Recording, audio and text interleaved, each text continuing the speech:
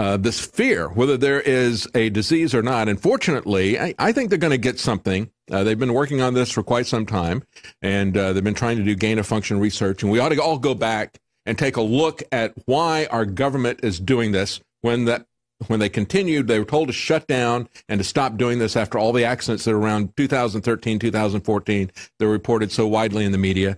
And uh, so Congress got involved in that. They said, all right, we want you guys to stop. They didn't stop. Yeah. Instead, what they did was they continued this at UNC Chapel Hill. They gave $3.7 million to the Wuhan uh, uh, research uh, to do this exact research, coronavirus and bats. And when the research was published from UNC Chapel Hill, you had a big outcry.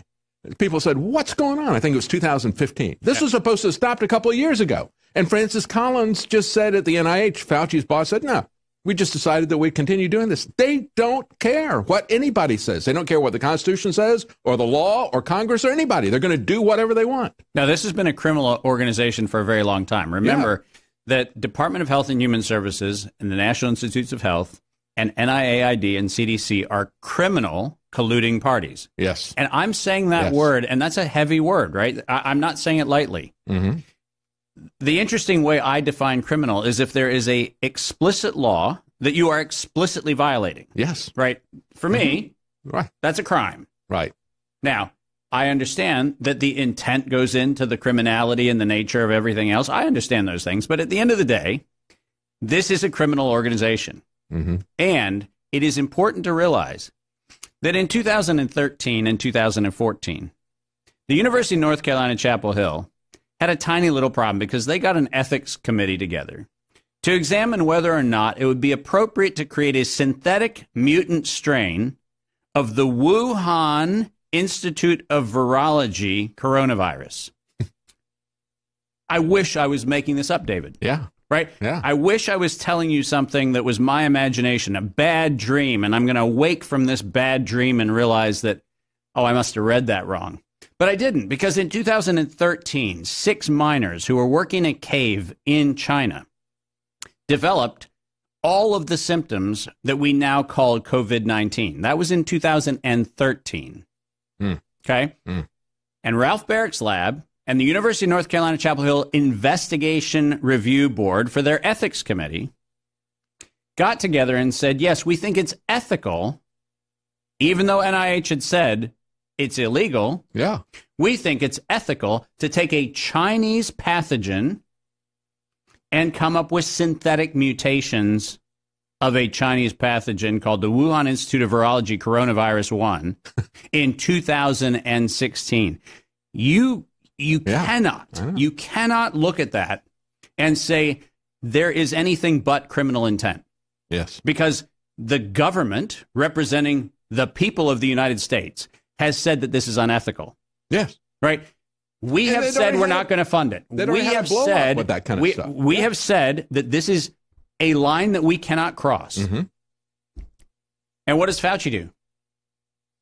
He writes another check and is proud of the fact that through an alliance between National Institutes of Health, NIAID, and DARPA, we're not talking about $3.7 million laundered through EcoHealth Alliance, Mm-hmm. because that was money laundering, by the way. Mm-hmm.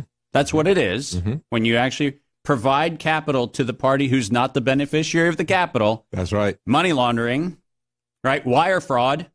How many things can we throw on this thing? They knew they were doing it. And not only did they do it, but they also got $1.7 billion a year of our money, our taxpayer dollars, $1.7 billion a year that was directed through NIAID to deal with bioterrorism and biohazard research. Now, the cool thing about that money is it goes into black holes all over the place. Mm-hmm. Vanderbilt, Emory, you know, right here, University of Texas system gets a lot of that money. There are tons of programs around the country that are getting this money. And the great thing about it is it goes through so many different affiliations that you can't follow it.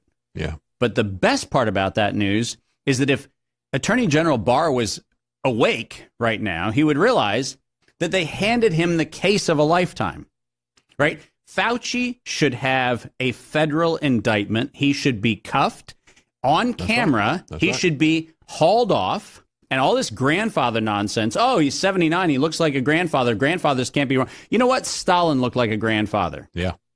Yeah. And Stalin impacted the lives of 40 million Russians. Guess what Fauci's done? Yes. He has actually destroyed the livelihoods of 60 million Americans. Yes. Destroying Right? the middle class. So, yeah. so, so when I get the emotional response of, "Oh, you can't beat up an old guy," well, actually, I'm not beating up an old guy. I'm pointing out that a criminal, and once again, let's keep, be precise. What is the crime? The crime is by sitting on three boards and being the director of funds.